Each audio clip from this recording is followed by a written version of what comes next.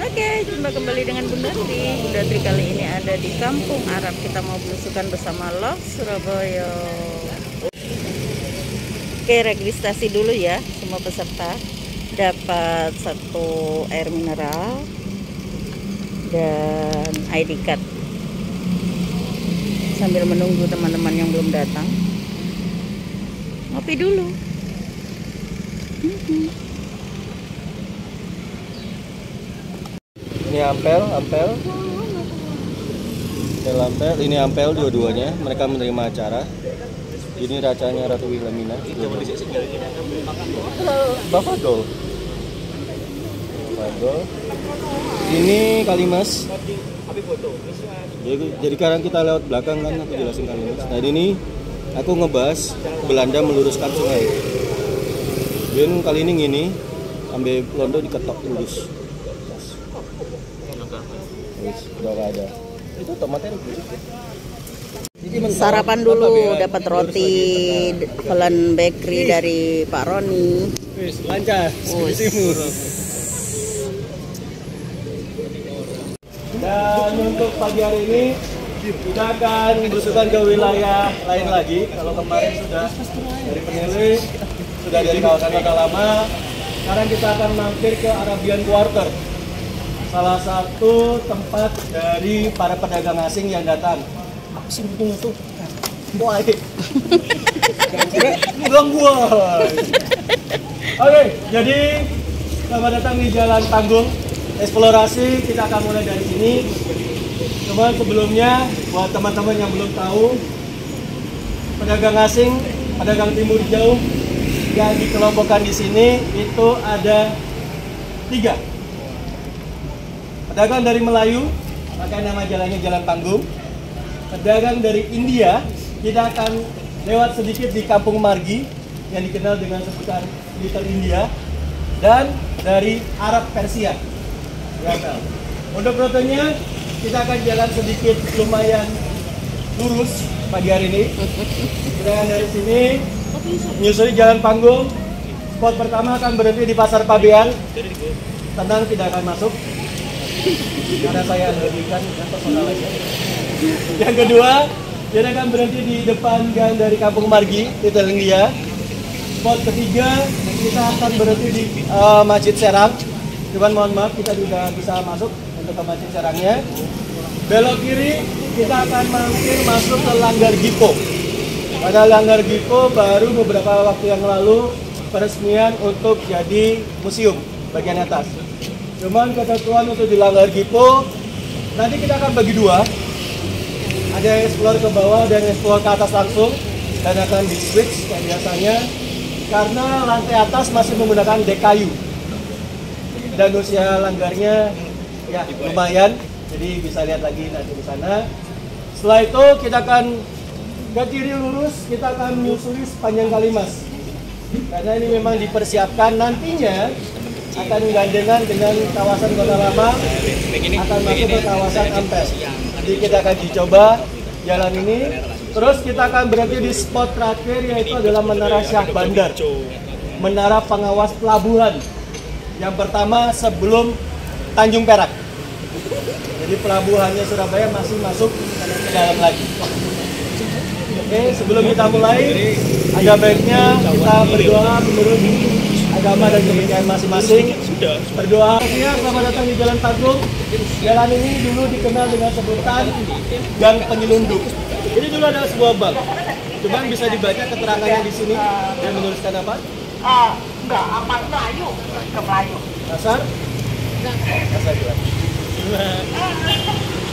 Ya, di sini keterangannya adalah Surabaya Pasar Gelap. Pasar Gelap. Bisa dinalar sedikit sendiri Pasar Gelap maksudnya apa? Jadi, terkait dengan foto di bawah, ini adalah foto book. Foto Ya, kita menyusuri jalan panggung. Love Surabaya. silakan. Bagaimana aktivitas di Jalan? Ada. Yang pertama di atas adalah Jalan Tanggung, yang di bawahnya adalah Pabean Kasihan. Kenapa namanya Jalan Tanggung? Karena ada Melayu. Melayu maksudnya apa mas? Melayu ini adalah orang-orang dari Malaysia, dari uh, Brunei Darussalam, Filipina Selatan. Mereka ada yang menikmati kembang gula New York gak? Yang pernah makan kembang gula New York? Jadi, ini saran. Coba jalan-jalan ke genteng. Ada di beberapa toko instalasi kaca isinya permen. Belilah satu permen dengan bungkus oranye. Tulisannya New York. Itu kembang gula dari sini produksinya.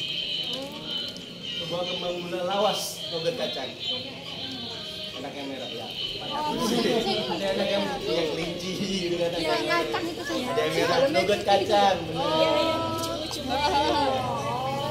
Kan mereka lagi Iya, iya, iya, iya. Itu nama makanan. Oh, itu namanya kembang gula. namanya kita seumuran. Selamat datang di Pasar Pabean, Surabaya. Sebuah pasar yang dibuka pertama kali pada tahun 1849. Dan semenjak tahun 1923 ada yang namanya eh, peraturan pasar di mana Belanda mulai memperbaiki pasar-pasar di kota Surabaya. Salah satu yang diperbaiki adalah pasar tertua di kota Surabaya, yaitu adalah pasar Pabean. Ya, statusnya sebagai pasar tertua di kota Surabaya.